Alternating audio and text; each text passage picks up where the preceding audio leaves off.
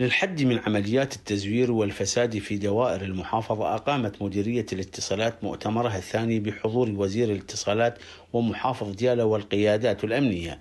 ومختصين وأكد وزير الاتصالات خلال المؤتمر بأن برنامج الحوكمة الإلكتروني سيحد وبشكل كبير من عمليات الفساد والتزوير التي أرهقت المواطن خلال المراجعات للدوائر الحكومية.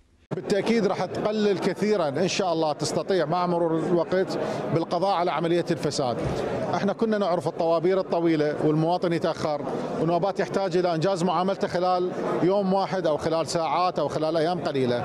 من يشوف إنه الموضوع يطول أسابيع وأشهر يضطر إنه يخضع للابتزاز. راح نقطع الطريق على المفسدين، هذا الموضوع طويل يراد لنفس طويل وتعاون من مدراء الدوائر لمحو الأمية الإلكترونية زائدا القضاء على المعارض المعرقلين اللي يحاوضون عرقلة هذا المشروع الكبير اللي يخدم كل الموظفين.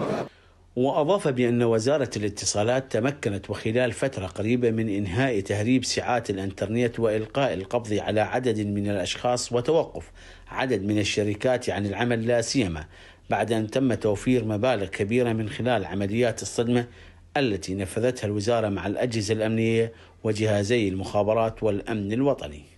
قضاء العراق العادل إلى الآن. أصدر عشر مذكرات قبض بحق أسماء شخصيات بعضها كبير بعضها متنفذين لشخصيات سياسية ولأبناء شخصيات سياسية معروفة. القضاء هو الوحيد اللي يستطيع التصريح في الوقت المناسب. إحنا كوزارة اتصالات عملنا مع هيئة الإعلام والاتصالات جهاز الأمن الوطني جهاز المخابرات الوطني بالإضافة إلى قوات الرد السريع في وزارة الداخلية وبعض القوات الساندة لنا في وزارة الداخلية. حققنا أرقام كبيرة. كانت الشركات المتورطة عددها أكثر من ست شركات. عدد المتورطين واللي صدر عليهم أمر القبض أربعة بعدين صاروا عشرة. وبالتالي أكيد الشبكة هاي راح تستمر. القضاء العراقي عندنا ثقة عادلة العفو عندنا ثقة كبيرة بعدالته وإن شاء الله كل المتورطين ينالون جزاءهم لكن إحنا في كل شهر وفرنا تقريبا من 4 إلى 5 مليار دينار عراقي إلى خزينة الدولة. تأتي حوكمة الحكومة الإلكترونية كأداة فاعلة من أجل التأكيد على أن الخدمات الحكومية الإلكترونية تعمل على تحقيق الشفافية والعدالة ومكافحة الفساد.